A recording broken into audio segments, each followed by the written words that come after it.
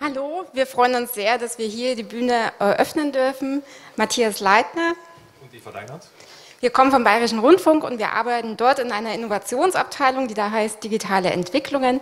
Und wir stellen euch vor, was für ein Projekt wir im letzten Jahr bis dieses Jahr im Februar gemacht haben, nämlich das hieß Ich Eisner.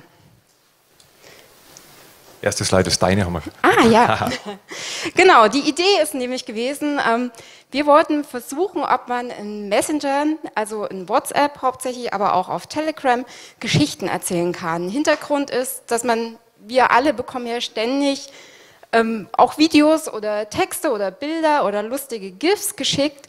Oft sind da öffentlich-rechtliche Inhalte dabei. Wir haben uns überlegt, können wir dort selber Geschichten erzählen? Und zwar snackable, kurz, bündig, so wie man es halt braucht im Alltag. Man hat nicht so viel Zeit, man äh, möchte trotzdem irgendwie lesen und, und ähm, ja, auf dem Laufenden bleiben und kann man das auch mit Geschichtsinhalten.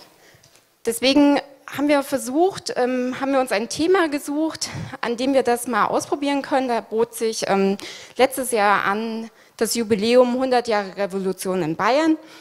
Das war dann das Thema, auf das wir aufgesetzt haben und wir versucht haben, da die Geschichte der Revolution in WhatsApp-Nachrichten in Echtzeit nachzuerzählen. Genau, und das Schwierigste, ähm, was sich am Anfang sofort an, an, uns herangetragen hat, war die richtige Erzählperspektive zu finden, auch für diesen Ausspielkanal auf äh, Messenger-Diensten. Ähm, wir waren nicht schlau genug von Haus aus zu sagen, dass es eine Person sein muss, die dort erzählt und auch nicht schlau genug, um zu sagen, dass es Kurt Eisner sein muss, der dort erzählt, sondern wir haben relativ viel ausprobiert.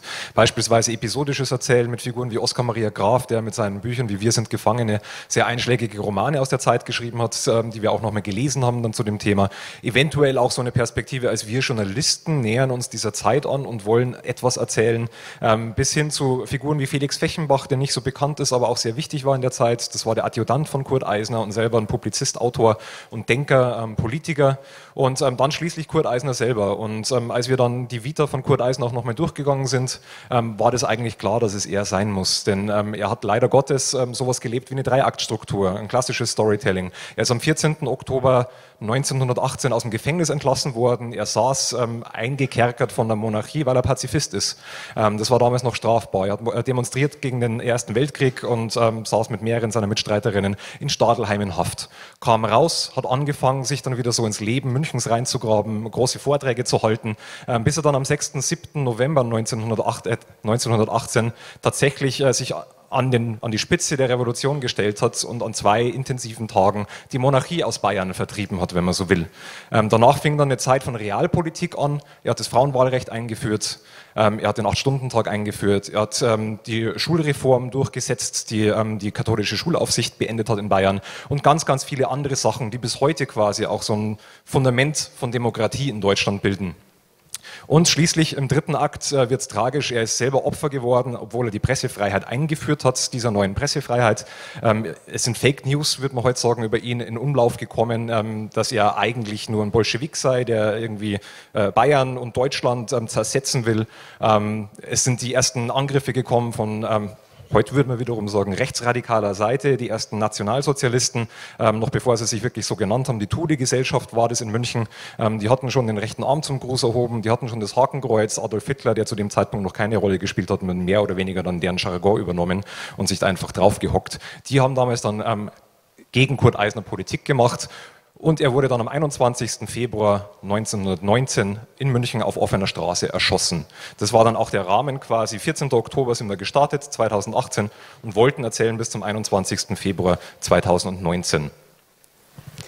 Hier mal ein paar Eindrücke, wie das dann ausgesehen hat. Wir haben uns ähm, durch ganz viel Archivmaterial gewühlt, haben uns Fotos rausgesucht, ähm, die da noch nicht so umfangreich waren, haben versucht, auch sowas wie Flugblätter zugänglich zu machen, Dokumente, haben wir uns ein eigenes Design dafür überlegt und die Geschichte wirklich in Echtzeit aufbereitet ähm, und tagtäglich in kurze WhatsApp-Nachrichten gepackt. Immer dann, wenn sowas, was ihr da auf der rechten Seite seht, ein Aufruf kam, haben wir kurz die Erzählebene verlassen, haben nicht mehr als Kurt Eisner gesprochen, sondern haben dann weiterführende Links zu Persönlichkeiten, zu Radio-Features, die im Bayerischen Rundfunk entstanden sind, zu vielleicht so Nebenaspekten oder Nebenfiguren empfohlen oder auch unsere eigene Webseite. Das ganze Projekt lief so, man hat sich über eine Webseite angemeldet, über br.de slash ich-eisner, die ist auch noch zugänglich, könnt ihr auch später nochmal anschauen. Dort haben wir einen Anmeldebereich gehabt, dort hatten wir aber auch ein ganz umfangreiches FAQ mit einem Glossar, wo wir nochmal alle Begriffe, alle Nebenfiguren, alle ja, wichtigen Ereignisse nochmal aufgegriffen haben, auch Interviews hatten mit ähm, Fachleuten und Historikern. Genau, und um noch einen besseren Eindruck zu bekommen, wie das Ganze aussah, haben wir ähm, unseren Projektfilm mitgebracht, den wir euch kurz zeigen wollen. München 1918. Wir kämpfen in einem aussichtslosen Krieg. Wir sterben in Schützengräben, sterben an Hunger, ich kämpfe gegen Kriegstreiberei, gegen die Monarchie, für den Frieden. Die Leute schimpfen mich einen Pazifisten, einen Sozialisten, Intellektuellen, Juden und Träumer. Hier erzähle ich euch meine Geschichte. Eine Geschichte von Krieg und Revolution, von Freiheit und Mord. Eine Geschichte aus Bayern. Heute vor 100 Jahren. Mein Name ist Kurt Eisner. Kurt Eisner erzählt in Messenger-Diensten wie WhatsApp und Telegram seine Geschichte. Die liegt 100 Jahre zurück, aber berührt die Nutzer noch heute.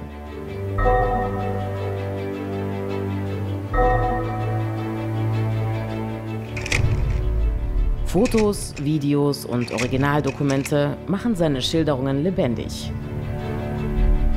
Das wertvolle Material haben Museen und Archive beigesteuert.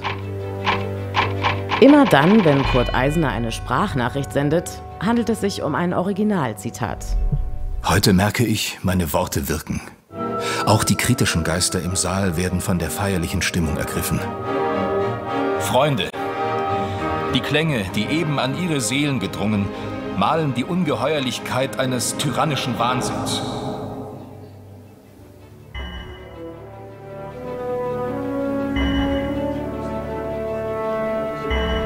Das Feedback der Nutzer beweist, Zeitgeschichte und Messenger sind eine gute Kombination.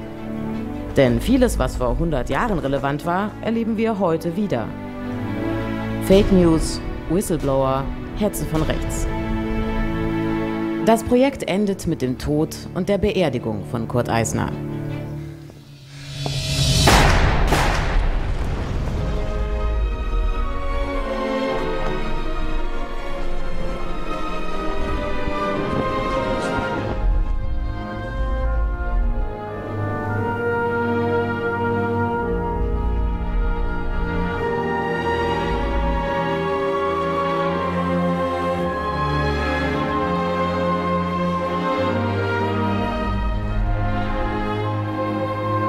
Mehr als 15.000 Menschen machten mit. Ich Eisner. Eine viermonatige Reise in die Vergangenheit. Und doch nahm Kurt Eisner jeden Einzelnen dabei an die Hand.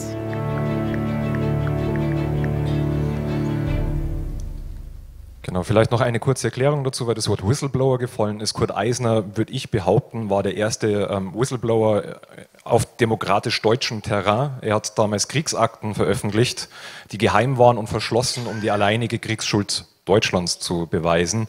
Ähm, das ist ihm selber auf den Fuß gefallen, ähm, weil dagegen nicht nur die politische Öffentlichkeit, sondern auch allgemein die eher nationalistisch äh, gesinnte deutsche Öffentlichkeit sehr, sehr allergisch reagiert hat und er hat aus heutiger Perspektive sich auch ein bisschen verrannt, also nicht die komplette Aktenübersicht gehabt, aber es war ein Politiker, der auch Transparenz herstellen wollte und das ist noch eine Grundeigenschaft, ähm, die natürlich auch sehr, sehr interessant war bei diesem historischen Stoff im Abgleich zu heute, weil das auch ein Diskurs ist, der immer wieder stattfindet. Hier mal schnöde Zahlen zu dem Projekt, es wurde gerade in dem Trail auch schon genannt, wir hatten 15 15.000 Nutzerinnen im Projekt, weit mehr als wir uns erwartet hatten. Und im Bereich Webdokumentation, digitale Dokumentation kennen wir auch eigentlich nur immer ein bisschen andere Zahlen, vor allem bei Projekten, die ein bisschen kleiner sind wie dieses hier. Wir wären glücklich gewesen bei 3.000 plus.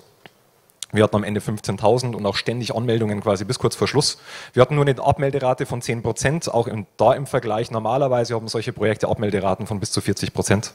Das heißt, die Leute sind dabei geblieben und wir haben das auch noch mehr abgefragt. Die haben uns dann auch nicht einfach nicht gelesen, sondern die haben uns wahrgenommen. Also die Leute, die dabei geblieben sind, haben auch alle Posts gelesen, die wir verschickt haben.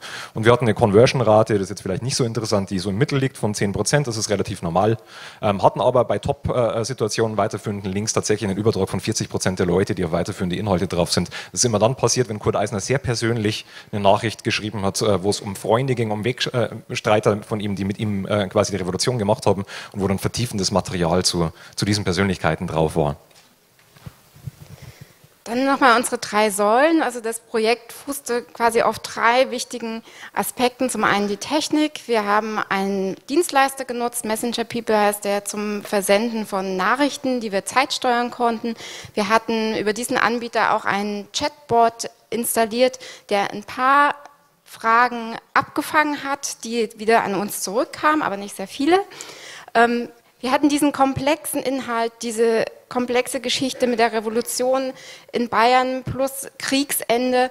Das zu verknappen war ein, eine große Herausforderung für uns im Projekt, auch auszuwählen, was schicken wir, was lassen wir weg, wo, ähm, was müssen wir auch weglassen, weil wir da nicht genug ähm, Quellmaterial hatten. Und ein Aspekt ist auch, wir nutzen Messenger-Dienste ähm, für unser Projekt. Das heißt, wir sind keine Einbahnstraße, sondern es kommen auch die ganze Zeit Nachrichten zurück und die mussten auch betreut werden. Also Community Management war ein großer Komplex in unserem Projekt.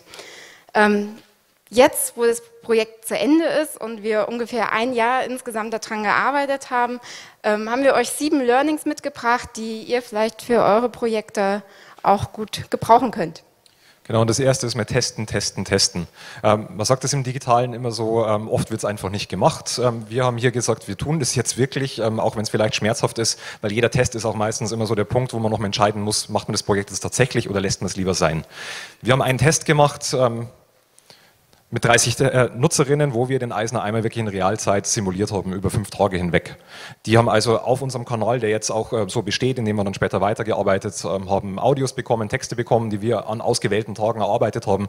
Und ähm, die haben das einfach mehr ausgehalten und haben dann am Ende einen Fragebogen bekommen und wir haben auch noch mehr 1 zu 1 Interviews geführt mit denen. Und ähm, die haben uns ein sehr, sehr positives Feedback bekommen, äh, gegeben. Da waren wir sehr froh, weil wir dann gesagt haben, wir können weitermachen. Sie haben uns aber auch sehr wertige Kritik gegeben, beispielsweise eine eine der wichtigsten Erkenntnisse war, lass den Eisen auf gar keinen Fall so sprechen, wie ihn jetzt gerade schreiben lässt und ähm, auch nicht so sprechen. Wir hatten eine sehr historisierende Sprache am Anfang noch, weil wir gedacht haben, wir müssen da historisch so korrekt sein und das Schrift äh, das Schriftdeutsch, das Eisner ähm, geschrieben hat, quasi in seine Sprache übersetzen. Ähm, alle unisono, alle Altersgruppen wollten eigentlich, dass unser Kurt Eisner wesentlich moderner spricht, wesentlich näher an ihnen dran ist und auch gern mal ein Emoji schickt, äh, äh zwei Biergläser, die zusammen touchen oder ein Herzchen oder was auch immer. Ähm, das, äh, ähm, das war wichtig für uns, weil wir konnten uns dann einfach auch mehr trauen. Das zweite war, fünf Nachrichten am Tag, die wir damals schon eingeplant hatten, waren wesentlich zu viel schon zu dem Zeitpunkt. Ähm, vor allem an Wochenendtagen. An Wochenendtagen maximal zwei Nachrichten, das stört der Eisner sonst, ähm, da ist Familienplanung, Freizeit, sonstiges. Während der Arbeitszeit kein Problem, schickt uns, schickt uns so viel, so viel ihr wollt. Wir haben das aber dann auch weiter durchgezogen. Also ab dem ersten Tag, 14. Oktober, kam Feedback von den Leuten. Wir hatten relativ schnell 6.000, 7.000 Leute in dem Kanal drin, die uns natürlich auch regelmäßig Feedbacks gegeben haben. Und wir haben immer versucht, wenn es mehrere Leute waren, also nicht Einzelmeinungen, sondern wenn sich da eine Tendenz abgezeichnet hat, eure Texte sind zu kurz, eure Texte sind zu lang, ihr schickt zu viele Nachrichten, dass wir da auch dann wieder darauf reagieren sofort. Ähm, auch das würde ich unter Test äh, sehen. Wir haben auch nicht so weit vorgeschrieben, also nicht äh, ähm, alle Sachen vier Monate vorgeplant, sondern immer nur so zehn Tageweise, die unsere Texte vorbereitet. Und wir haben am Schluss nochmal eine Nutzerbefragung gemacht, um diese Annahmen, die wir hatten, einfach nochmal abzuprüfen. Wir wussten nicht, lesen die Leute tatsächlich alles oder lassen die uns einfach links liegen und äh, melden sich halt einfach nicht ab, ähm, wo dann so Sachen rausgekommen sind wie, alle lesen uns, alle lesen uns auch meistens sofort und die, diejenigen, die uns nicht sofort lesen, die haben einen Tag in der Woche, wo sie einen Eisner gemacht haben.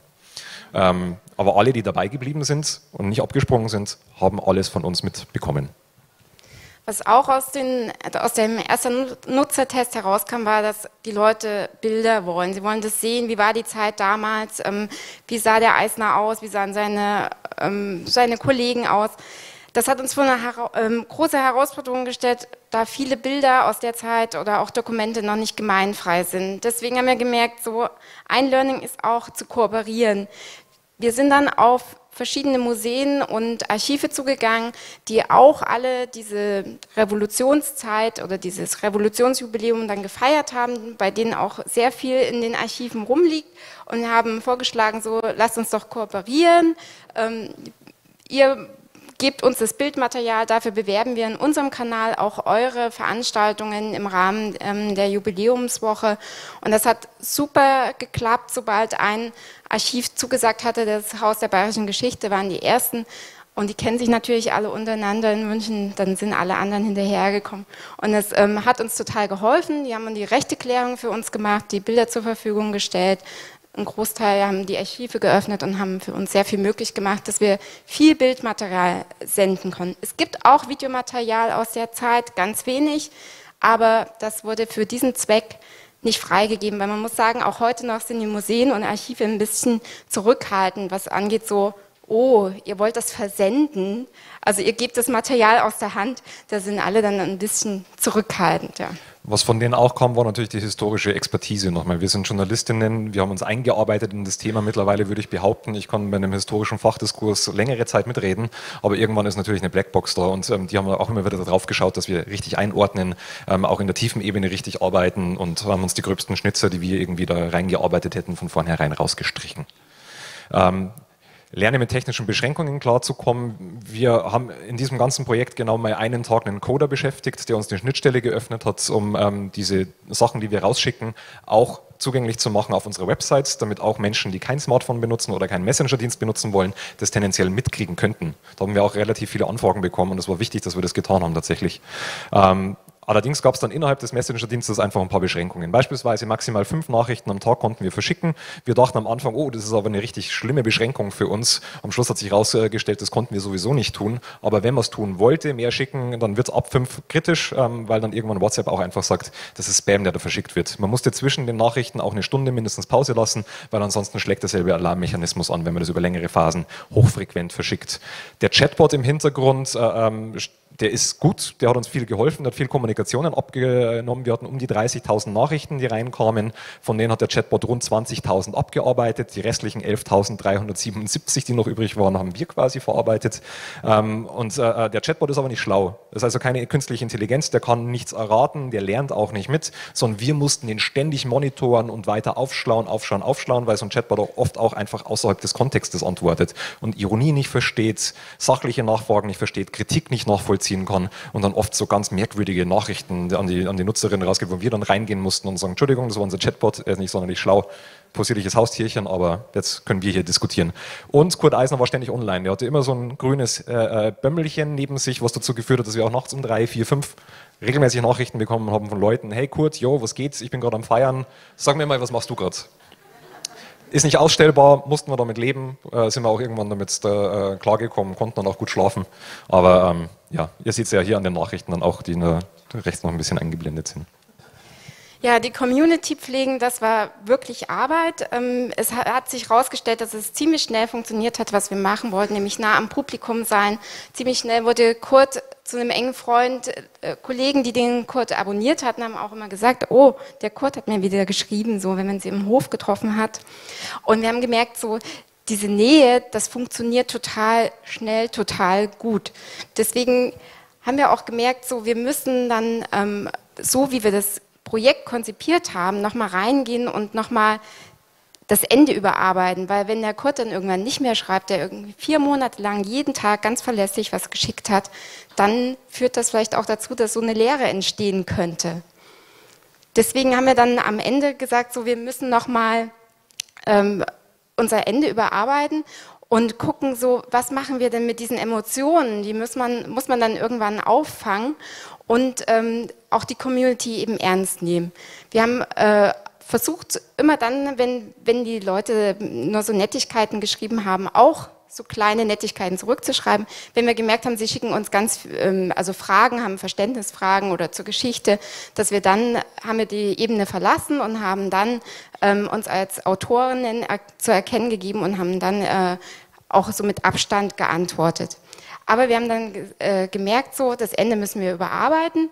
Ähm, wir müssen das auffangen weil alle Nachrichten, die uns geschrieben wurden, sind ja nur bei uns gelandet, so wie es eben ist in WhatsApp. Das heißt, ähm, es könnte sein, hatten wir das Gefühl, dass am Ende ein Bedürfnis da ist, nochmal groß zu antworten, irgendwie nochmal in der Öffentlichkeit zu zeigen, so, hey, der Kurt hat mir was bedeutet, dieses Projekt hat was mit mir gemacht und ähm, ich möchte noch Danke sagen oder ich möchte kondolieren vielleicht. Deswegen haben wir am Ende ein Kondolenzbuch eingerichtet, das tatsächlich am 21. Februar ähm, zu dem Zeitpunkt, ähm, kurz nachdem Kurt Eisner erschossen wurde, ähm, von uns ähm, geöffnet wurde und innerhalb von ähm, eineinhalb Tagen kamen mehr als 500 persönliche Nachrichten an Kurt Eisner rein. Ähm, wir saßen tatsächlich mit äh, leicht tränenunterlaufenden Augen dann vor dem Rechner, weil wir das nicht erwartet hatten in dieser Intensität. Also wir hatten so ein bisschen was erwartet. Ich hatte beispielsweise am 24.12. Community-Dienst, habe äh, den, den, äh, das CMS aufgemacht und im Hintergrund 300 Nachrichten drin mit äh, Weihnachtsglückwünschen, Familienfotos Fotos und sonstiges an Kurt Eisner. Äh, dasselbe Spiel hatten wir dann noch mehr am 1. Januar quasi, wo viele Leute geschrieben haben, Kurt, ich weiß zwar, wie es ausgeht, ich hoffe trotzdem, dass dein Jahr 1919 besser abläuft, als wir das erwarten. Ähm, also die konnten mit der Ebene auch gut arbeiten. Ähm, auch das nochmal im Community Management, sobald wir gemerkt haben, Leute schreiben öfter an Kurt persönliche Nachrichten, haben wir die fiktive Ebene sofort gebrochen. Wir sind dann meistens rein, haben gesagt, hey, hier ist das Team Eisner, das schreibt, stell uns historische Nachfragen etc. etc. Genau, aber jetzt hier nochmal zwei Sonderprojekte, das Kondolenzbuch, das eineinhalb Tage nur auf war und über 500 Nachrichten reinkommt. Das ist auch öffentlich zugänglich über unsere äh, Domain, die ihr am Schluss dann auch nochmal als Link seht. Ähm, da kann man jetzt nochmal durchlesen. Da sind sehr viele, sehr schöne Nachrichten drin und man merkt auch, ähm, was das Projekt so ein bisschen auch mitgetriggert hat, das eh da war eigentlich. Wir haben das hier nur nochmal gebündelt. Und rechts sieht man ein kleines Foto. Ähm, da ist auch ganz klein neben der Eva, die vorne links in äh, Rot sitzt, dahinter der Dr. Bernhard Grau, ähm, der Eisner-Biograf und äh, Leiter der staatlichen Archive Bayerns, also einer unserer Partner, der uns auch immer wieder historisch beraten hat.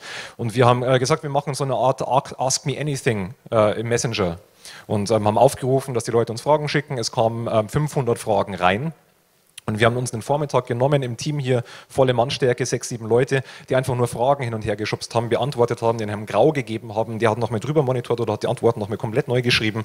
Und dann haben wir den eins zu eins die Antworten zugeschickt und gleichzeitig noch einen Blog aufgemacht, wo wir die wichtigsten Fragen, die häufig wiederkamen oder kritische Nachfragen zum Projekt gebündelt haben, um dann auch wieder denjenigen, die nicht im Kanal sind, das zur Verfügung zu stellen. Und das war dann so das eine unser emotionales Ende. Kurt Eisner hat dann auch nach seinem Tod, wir wollten eigentlich mal am 21. Februar mit Ermordung aussteigen, aussteigen, konnte man nicht. Wir haben weiterzählt bis zur Beerdigung. Kurt Eisner hat als Geist quasi weitergesprochen. Das war eh in unserer Erzählperspektive ehrlich äh, gestanden, dass er so ein bisschen über seiner eigenen Leiche schwebt und als allwissender Erzähler einfach historisch in, in die Situation reingreift. Und ähm, dann hatten wir noch so dieses intellektuelle, sachliche Ende quasi mit dem Ask Me Anything. Was wir auch gelernt haben, Häppchen können auch satt machen. Im Laufe des Projekts haben wir unsere Erzählweise ein bisschen geändert. Wir haben weniger Nachrichten verschickt. Am Anfang waren es so drei bis fünf, dann haben wir uns auf ein bis zwei konzentriert und diese durften dafür aber auch länger sein. Wir haben gemerkt, dass das gar keinen Unterschied macht für die Community, ähm, sondern dass sie lieber so auch was Langes lesen. Es muss nicht kurz sein, sondern wir können auch mal einen längeren Text erzählen. Unsere On-Site-Befragung im Nachhinein hat auch ergeben, dass alle oder fast alle eben ähm, die Nachrichten sofort gelesen haben, dass auch die Audios abgehört wurden zu 89 Prozent, was eine Top-Rate ist und dass man doch ja den Stoff eben knapp und, und in, in uh, ja, snackable äh, darreichen kann, aber dass es ähm, ganz gut funktioniert, auf diese Art und Weise Wissen zu vermitteln. Dann das Wichtigste bringt Zeit mit Manpower, Geduld, Mut muss man haben und agil arbeiten. Agil arbeiten heißt vor allem mal testen, viel, viel, viel, viel testen und sich auch in den äh, Methoden, mit denen man plant, ähm, wirklich einpegeln. Äh, wir sind zwar in der digitalen Entwicklung, haben am Anfang auch, keine Ahnung, 50 digitale Tools durchgetestet. Am Schluss war das unsere Planungswand. Eine ganz äh, schnöde Analog im Raum mit Zettelchen. Das links war ein Kalender, den wir irgendwann mal aufgezeichnet haben. Die blauen Zettel sind Themen, die wir verhandeln wollen. Die gelben Zettel sind Audios und Videos und die rosa Zettel sind Pausen die wir setzen, damit auch mal an dem Tag nichts passiert und die Leute durchschnaufen können. Und das haben wir dann einfach Zettel hin und her geschoben, reingeschrieben äh, ähm, und dann äh, irgendwann übertragen und eingeplant. Und rechts ist ein ganz normales Kanban-Board mit To-Dos, äh, wo das Team sofort draufschauen konnte, je nachdem wer da ist und äh, wo wir uns ähm, einfach daran orientiert haben, sodass es jeder eigentlich immer auf jeden Zettel zugreifen kann und den abarbeiten. Und das, was dann ähm, bei so diesen ganzen schnöden Rahmen von, äh, ähm, wie viele Leute sind dahinter, wie viele Nachrichten habt ihr verschickt. Hier nochmal ein kurzer Überblick. Ähm, diejenigen, die Vollzeit an dem Projekt gearbeitet haben, waren Eva, ich und ein Kollege ähm, Otto Köpnick. Der war aber dann kurz in Elternzeit, das heißt hauptsächlich waren es wir. Wir haben auch das Community Management gemacht, unterstützt noch durch eine Person und ähm, die restlichen Leute, die hier mit drauf sind, haben sehr, sehr viel für das Projekt geleistet, waren aber teilweise nur mal so ausschnittsweise, tageweise mit dabei. Genau. Was wir ganz vergessen hatten am Anfang zu fragen, ist, ähm, wer hatte denn den Kurt Eisner abonniert? Von euch? Cool, immerhin. so, jetzt genau. sind wir offen. Wir sind fertig. Dankeschön. Für Fragen.